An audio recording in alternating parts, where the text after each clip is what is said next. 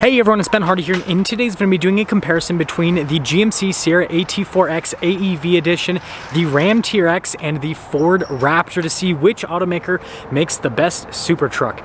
Before we get into this video though, a huge shout out and thank you to the Ken Garff Ford here in American Fork, Utah, and to the National GMC here in American Fork, Utah for providing me with the trucks. National provided the AT4X, and then Ken Garff Ford provided the TRX and the Raptor. Link to both of their inventories in the description down below, and then on a side note, if you want to save time and money, money the next time you purchase a car. Link to my car buying guide in the description down below as well. Let's get into it.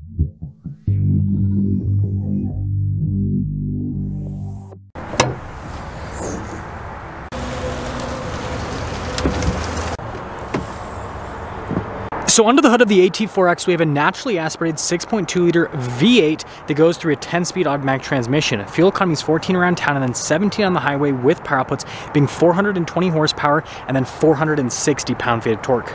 Now with the Raptor, we have a twin turbo 3.5 liter V6 that also goes through a 10 speed automatic transmission. Power outputs with this are 450 horsepower and then 510 pound-feet of torque with fuel economy being 15 around town and then 18 on the highway. And then finally we have the TRX which has a supercharged 6.2 liter V8 that goes through an 8-speed automatic transmission. Power outputs with this 702 horsepower, 650 pound-feet of torque, fuel economy is 10 around town, 14 on the highway.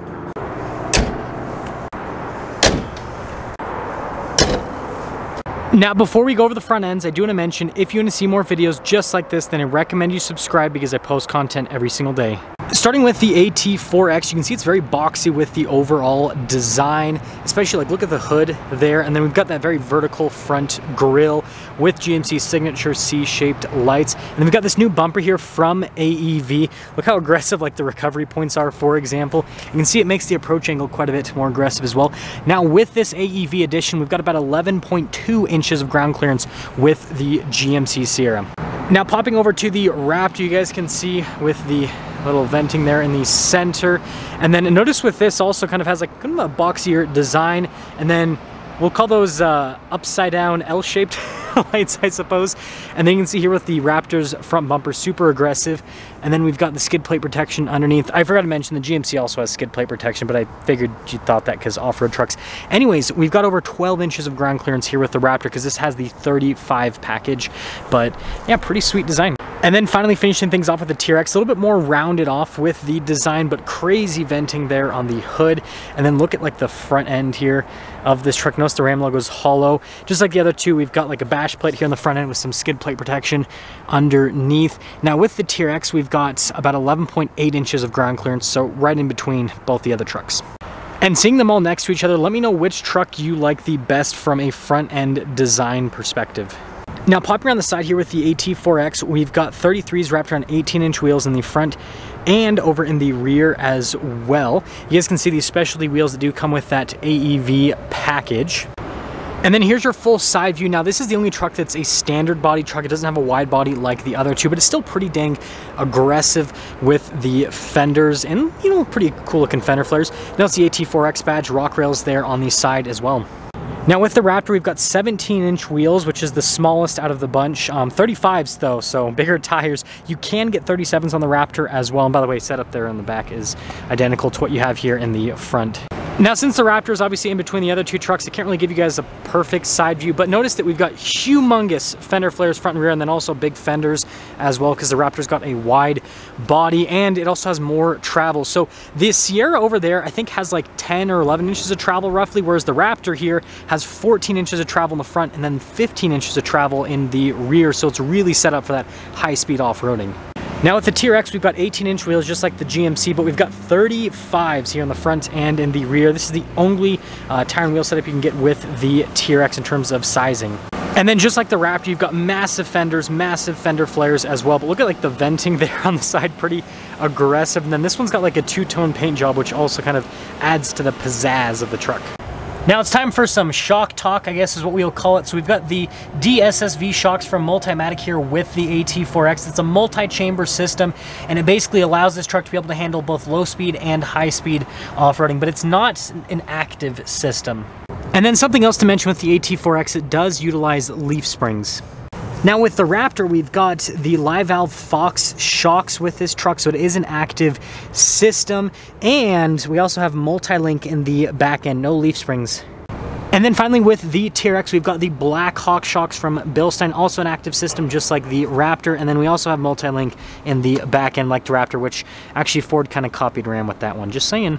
So we've got all of the keys right here. You guys can see functionality on all of them is completely identical, but notice Raptor, TRX, and then it just says GMC. Now with the AT4X, we have 1,006 pounds of payload capacity. And then this truck does have some cool bed features. You guys can see we've got the LED lights back here. We actually have a full power outlet as well. And then this one has the Multi-Pro tailgate. Apparently I can't say. It also has the kicker sound system built in. Now this Raptor also has spray and bed liner just like the GMC. Notice we got like a measuring chart here on the back.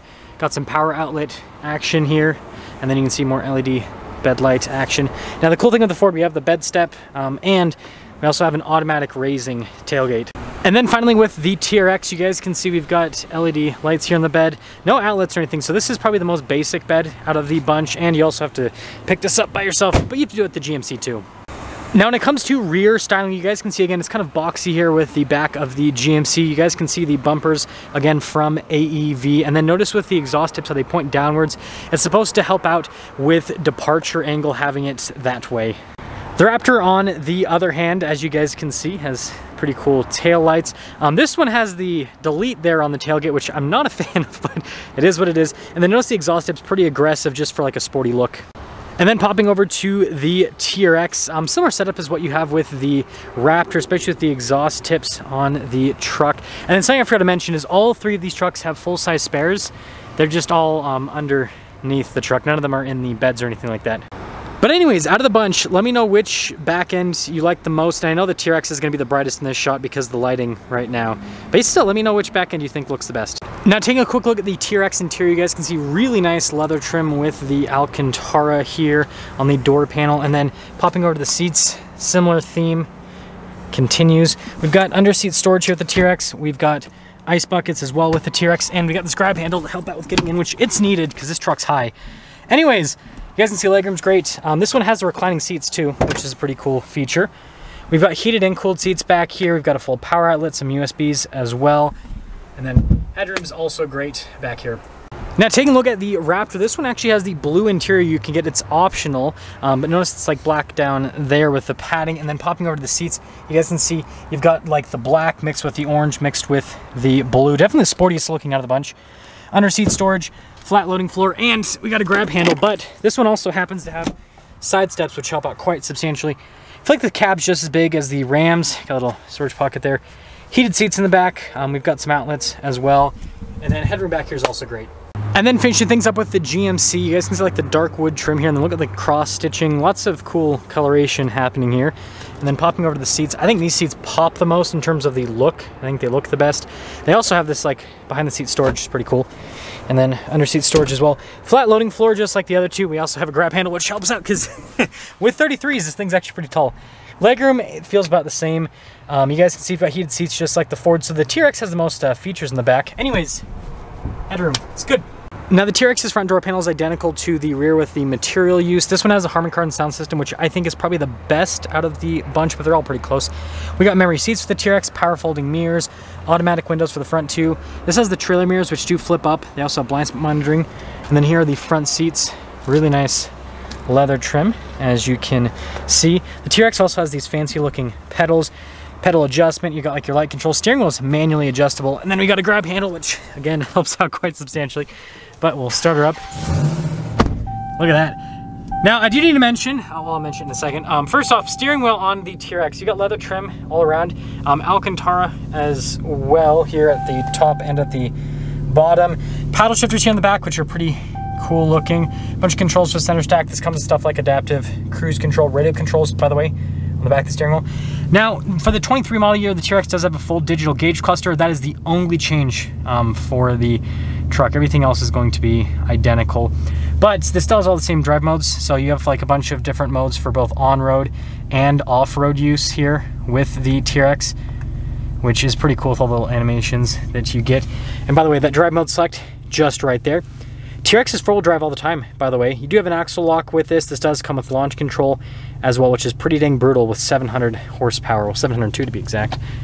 Now, we do have a 360 camera system here at the TRX on top of that.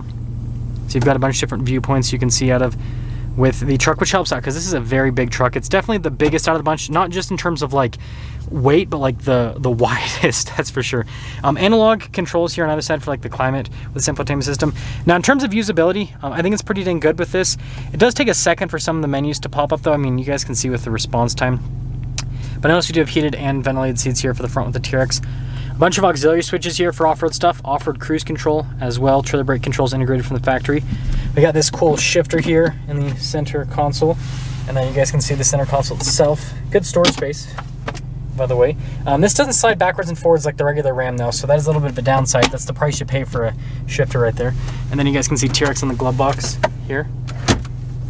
And then really nice like leather trim all over the dash and everything, and then more Alcantara. And then this actually has a camera mirror. I don't know if that's going to pop up on camera very well. And then power sliding window. Uh, and then no sunroof on this one, but you can get a panoramic. Now the Raptor's front door panel is same as the rear. Notice just like the T-Rex, you got automatic windows, you got mirrors that power fold in, you got memory seats, you got blind spot monitoring. And then you can see here, you've got like a speaker even in the headrest. Pretty cool looking seats though. That is for sure. And then we also have grab handle, but we also have side steps, which make getting in quite easy, to be honest. Ooh, um, so with the steering wheel, I think the Raptor steering wheel is probably the coolest out of the bunch. It's like really fat with the grips and you have really cool paddle shifters here on the back as well. And then look, you've got like adjustment for the steering, the shocks, the exhaust, all on the steering wheel. You can adjust that on the TRX as well, but it's through the drive modes and the custom mode and everything. It's not like individual buttons here. You also have an R mode, which is like your custom mode. Just like the TRX, you got adaptive cruise control. And then here's our full digital gauge cluster with the Raptor. We also have a bunch of different drive modes just like the TRX, and apparently it likes to give me low fuel warning. So pretty cool setup with that whole thing, and the camera won't focus, but whatever. We've got a 360 camera system. Um, I'd say the view is better with this. I mean, look how much bigger it is on the screen compared to the TRX, and it's full 360, just like the TRX as well. As for the rest of the infotainment system, um, has a shortcut bar here at the bottom, just like the Ram. Uh, really good response time overall. We also have trail turn assist, by the way, with the Raptor, which is a pretty cool off-road feature. Um, so I'd say, you know, infotainment system equal over to the uh, Ram. We also have off-road cruise control with this, if you guys are wondering. Um, anyways, we've got our drive line select. So this is a normal truck, is what I'll call it, because it has two-wheel drive as well as four-wheel high, four-wheel auto, four-wheel low, locking differential in the rear. And then we do have heated seats, uh, heated steering wheel, air-conditioned seats as well with the Raptor. Also, trailer brake controls, forgot to mention that. And then we have a shifter here in the center console. It's kind of like a thing with these trucks. Uh, wireless phone charging pad in the front. And then this is actually the workbench, so it like pops forward. Also says Raptor here on the top, which is pretty cool. And you can see good storage space. They've got like carbon fiber trim there in the glove box, which is fancy. Uh, but double glove box, and then not nearly as nice with the stuff here on the dash. Just a regular mirror. Um, auxiliary switches are up top here at the Raptor, which is kind of interesting. Uh, and then we do have a power sliding window, and then panoramic sunroof. Now taking a look at the front door panel here with the AT4X, you guys can see just like the rear with the overall design. Front two windows are automatic, mirrors power fold in. We got memory seats, we got blind spot monitoring, and then here are the seats. We've got lots of uh, similarities with the trucks. Love it says AT4X. I do like the look of these seats uh, a lot. I think they look great. They also have massage function, which is pretty cool. The other two don't have that. And then we got like all of our drive modes, select controls here, tow haul mode, um, your drive line. So again, just like the Raptor, it has two-wheel drive as well as four-wheel high and four-wheel auto, four-wheel low. Light controls. This one has a heads-up display. Steering wheel is power adjustable, and we got a grab handle to help out with getting in. Anyways, closing this up and starting her up. Pretty fancy. Um, so this one has the most normal steering wheel. This is just like out of every other Sierra. Um, but we do have paddle shifters here on the back, which is pretty cool. Radio controls on the back as well. Heat steering wheel button on the steering wheel. Um, adaptive cruise control, just like the other two. And then we've got a full digital gauge cluster. Um, again, just like what you get in a 23 TRX or that Raptor. And then we have less drive modes, um, but I mean, you just have what you need, right? You've got your normal, you've got your off-road, and then you've got your terrain, which is like your low-speed crawling, and then you have a tow haul mode as well. So they keep things a little bit more simplistic here with the GMC. And then popping it into reverse, really good camera system, just like the Ford. So I think the Ford and this one are pretty close, but I do like the, the wheel shots on this one. I think that kind of elevates this camera system to number one. And that's for the rest of the infotainment system. Um, it's pretty, again, similar to the Ford, so how it's horizontally opposed, shortcut bar there, and good response time. It's got Apple CarPlay, Android Auto. I do like the engine stop start button in this one the most. It's the most high quality feeling. And then you guys can see we've got heated and cooled seats, dual zone climate. And then we've got a bunch of features down here. The important stuff for today's video, we got hill descent control, right? And then we also have a rear locking differential as well as a front uh, locking differential that you have to have both of them locked at the same time. Um, so the other two don't have front locking differentials, so that's a big difference. Although the Raptor has a Torsen front differential and then the Ram TRX does braking stuff with the front to kind of mimic a front locker. Anyways, look where the shifter is. Who would have thought? Uh, we got trailer brake controls behind, some cup holders, and then center console here with wireless phone charging pad. And then double glove box, just like the other two, pretty snazzy. Um, really nice material use here on the dash in terms of the look and everything. Camera mirror, just like the TRX. And we do have a power sliding rear window. And then we've got a sunroof. And then this one has a nice premium headliner. The other two just have like normal cloth headliners. So when it comes to pricing the AT4X in this format, stickers for $90,000. Now, if you get a loaded up 35 package Raptor, you're gonna be about $85,000. If you get a 37 package loaded up, you're gonna be about $90,000. So these two theoretically could be about the same price. And then with the TRX, this one's a little bit of an outlier in this comparison. You can get a TRX for under $90,000, but that's not gonna have a lot of options. If you load it up with the options that most people add to the truck, you're gonna be looking at, you know, close to $100,000, potentially over $100,000 if you like really, really load it up and there's the pricing. That's gonna sum things up for our walk around comparison. I want you guys to let me know which truck you like the best after this walk around comparison. Now I will be posting a driving comparison as well in the near future, so that's another reason to subscribe if you haven't subscribed already. Uh, my thoughts after this walk around comparison, I think the GMC has the coolest looking interior from a design perspective. I think the Ram has the nicest material use. You can tell that the materials there are just a little bit uh, nicer, more leather, all that kind of stuff. The Ford's interior is the sportiest looking, but obviously the materials aren't like the most luxury based, if that makes sense. And then when it comes to exterior styling, I mean, that's gonna come down to personal preference. I actually frankly think like we're in a situation where all three of these trucks look really, really good. So I think that's a big plus. Uh, but regardless, let me know which truck you would pick and I will see you guys in the driving comparison.